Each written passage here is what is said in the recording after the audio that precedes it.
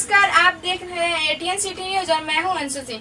बच्चों को मनोरंजन कराने के उद्देश्य से सहारनपुर स्थित डीपीएस पब्लिक स्कूल के द्वारा छोटे छोटे बच्चों को पिकनिक पर ले जाया गया, जहाँ बच्चों ने खूब मनोरंजन किया।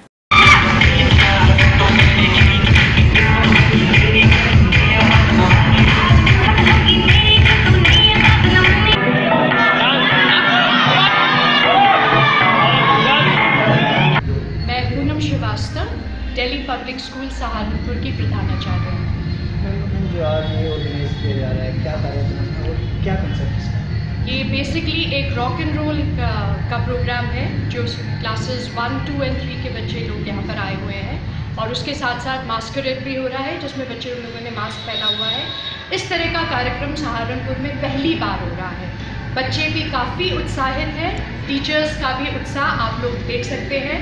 बहुत बहुत खुश है बच्चे और इस तरह का कार्यक्रम सहारनपुर में पहली बार हो रहा है और मैं आशा करती हूँ कि आइंदा मतलब आगे भी और भी ऐसे कार्यक्रम होते रहेंगे किस किस तरह के बच्चों को एजुकेशन इसमें बेसिकली लाइक पढ़ाई तो हर स्कूलों में होती है। पढ़ाई के अलावा हटकर के कुछ डांस गाना और बेसिकली बच्चे लोग को एक साथ सब कुछ एंजॉय करने का मौका एक साथ मिल रहा है जो एक स्कूल में सिर्फ़ पढ़ाई सिर्फ़ पढ़ाई के अलावा इसको थोड़ा सा करना पड़ेगा और आप बताते हैं पढ़ाई के साथ साथ खेल और मस्ती मनोरंजन भी बहुत ज़रूरी है।